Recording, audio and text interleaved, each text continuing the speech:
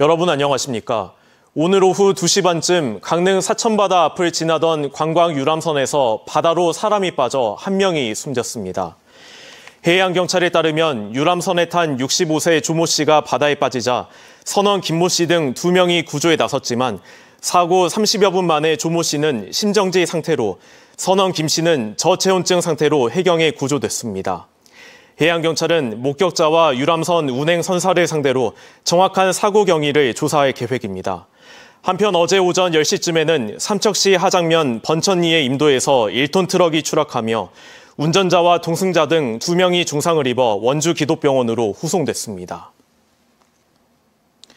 제22대 국회의원 선거에서 비례대표만으로 12개의 의석을 확보한 조국 혁신당이 오늘 춘천 MBC 공개홀에서 강원 지역 당원 간담회를 열었습니다. 이 자리에는 조국 대표와 강원 출신의 당선자 등 모두 130여 명이 참석했습니다. 당원들은 강원특별자치도 안착을 위한 지원을 부탁하고 청년들을 위한 주거와 고용 등 각 분야마다 체감할 수 있는 정책을 주문했습니다. 조국 대표는 분단도인 강원 발전을 위해 힘쓰겠다며 제22대 국회 개원에 맞춰 강원도당을 창당하는 등 조직력을 강화하겠다고 말했습니다. 원주 아카데미 극장에 철거 이야기를 그린 영화 무너지지 않는다가 전주국제영화제에 초청돼 많은 관심 속에 상영을 마쳤습니다. 극장을 지키려고 영화를 만든 시민들은 부당하게 철거된 아카데미의 이야기를 더 많은 사람들이 보고 더 많이 알려질 수 있도록 하겠다는 계획입니다. 권기만 기자의 보도입니다. 원주의 60년 된 단관 전국에서 원형이 가장 잘 남아 있는 60년 된 단관 극장. 이 극장을 지키려는 시민들의 오랜 노력 끝에 국비 지원 사업에 선정되는 성과까지 올렸습니다. 하지만 원주 시장이 바뀌면서 모두 물거품이 됐습니다. 원주시는 아카데미 극장을 철거하고 그 자리에 주차장을 단계적으로 추가 조성해 원주시의 아카데미 극장 철거 결정에 맞서 극장을 지키고자 했던 시민들의 이야기를 세 명의 화자가 각자의 시각에서 설명하는 방식으로 구성한 옴니버스 형식의 다큐멘터리 영화입니다. 원주 아카데미 극장 철거에 맞선 시민들의 이야기를 담은 영화 무너지지 않는다는 올해 전주 국제영화제에 공식 초청돼 많은 영화인과 관객들의 관심 속에 성공적으로 상영을 마쳤습니다. 영화를 만든 이들은 영화를 통해 더 많은 사람들이 사라진 극장을 기억하고 또 극장을 지키려 했던 사람들의 이야기를 더 많이 알았으면 좋겠다는 생각으로 제작을 결정했다고 말합니다. 저희가 겪었던 것들 이런 일들이 다시는 일어나지 말아야 한다는 것을 알려주고 싶은 그런 마음이 더 커서 이렇게 작업을 해서 세상에 나오게 되었습니다. 뭔가 힘을 보탤 수 있는 방법이 어떤 게 있을 수 있을까에 대한 고민을 했을 때 결국은 영화라는 것들을 많은 분들에게 보여줄 수 있는 기회장을 만들어서 소개할 수 있는 창구를 영화는 전주를 시작으로 다음 달 열리는 춘천영화제와 서울 상영회가 확정됐습니다. 제작자들은 부산국제영화제, 정동진 서울 독립영화제를 포함한 국내외 영화제에 꾸준히 작품을 출품해 더 많은 이들이 영화를 볼 수 있도록 한다는 계획입니다. 원주 시민들을 대상으로 한 극장 상영과 야외 상영, 학교를 포함한 순회 상영회도 계획하고 있습니다. 더 많은 분들과 더 다양한 분들이 영화를 통해서 좀이 사건들을 좀 알게 되셨으면 좋겠고 그런 더 대형화되고 확산된 그런 힘들이 모여서 좀 이 문제들이 빨리 좀 해결됐으면 하는 그런 바람입니다. 극장은 무너지고 사라졌지만 극장을 지키고자 했던 시민들은 무너지지 않았고 그 이야기는 영화로 기록돼 사람들에게 전해지고 있습니다. MBC 뉴스 권기만입니다.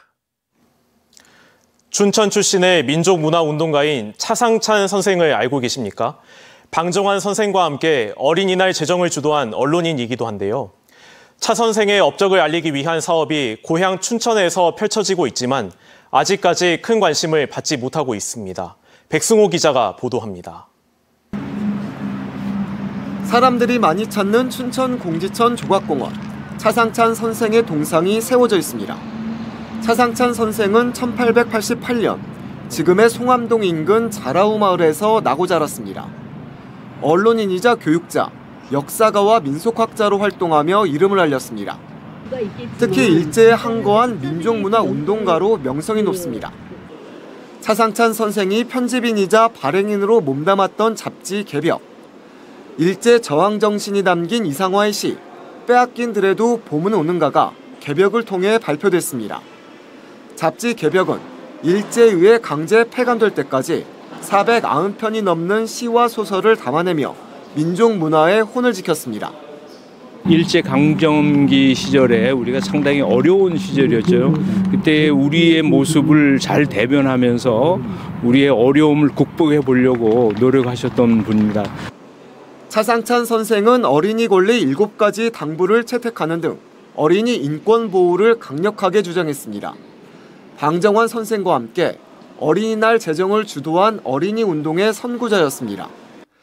이런 선생의 업적을 기리고 선양하자는 움직임은 2000년대부터 시작됐습니다. 2012년에는 차상찬 기념 사업회가 출범해 학술대회와 시민 강연을 열고 있습니다. 차상찬 선생은 잡지 개벽에서 나는 강원도 사람이다.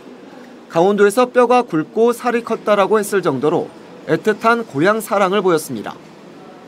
강원학회를 주도하신 분이에요. 예, 관 그때는 이제 관동학회죠. 그래서 남궁옥 선생님이 이제 회장으로 모시고 그 강원도의 모든 유학생들과 그 지식인들이 모여서 강원도의 어떤 계몽을 위해서 애쓰신 분이죠. 차상찬 선생이 활동한 지 100년이 지나고서야 선양 사업이 시작됐지만 강원도와 춘천시가 편성한 올해 예산은 4,500만 원으로 지난해보다 오히려 500만 원 줄었습니다. MBC 뉴스 백소입니다. 2024 강릉 단오제의 신주미 봉정 신주빗기가 열리면서 강릉의 단오제 서막이 올랐습니다.